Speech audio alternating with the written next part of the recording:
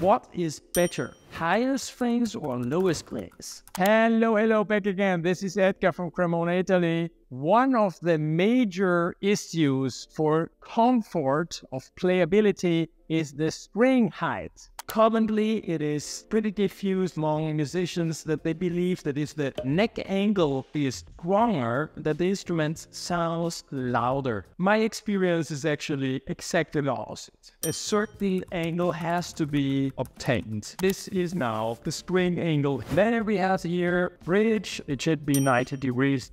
And here we have our fingerboard, okay? Now, when I talk about string height, we talk about the distance of the string to the fingerboard at the end of the fingerboard. So we measure in this position here, we put the ruler just in here and we measure the distance from the fingerboard to the underside of the string. These measurements uh, depend on the strings, on your ability to play, on your personal taste, on your climate you're living, uh, how much the neck is moving back and forth. If you're ready to test and check out one of my violins we offer and we make here in my workshop, go on my webpage, violincellomaker.com, and you will see all the range of instruments from Scala Perfetta, Linea Macchi, and all the master instruments, and you will see that everything is perfect just as you were dreaming.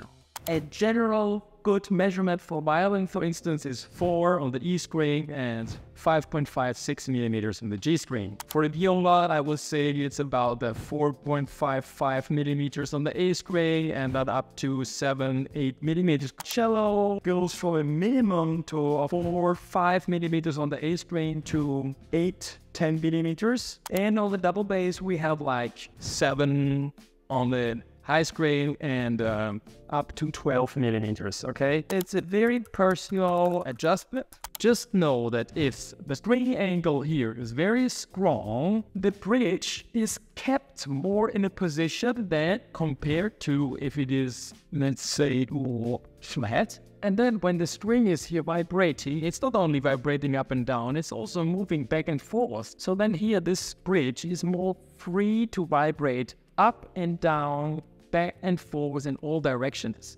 And that's the main reason that if the spring is a little bit lower, the instrument is a little bit more freer. If you enjoyed this video and you're ready to jump even further into these details about the string height, I would recommend you to check out on Edgar's online violin making academy. You just can only pick out the subjects you like and you can buy them singularly. When I made the violin making school, they just sat down, then cut the bridge, and then they turned around and went away. In my violin making academy, there are 20 videos each 20 minutes, which explains how to cut and fit the proper and idle bridge for your violin. I hope you enjoyed this video and you even felt the moment of the time to squeeze that button to subscribe to this nice channel. Subscribe, thank you, and tell your friends. Ciao, ciao. Hope to see you soon in Cremona. Bye bye.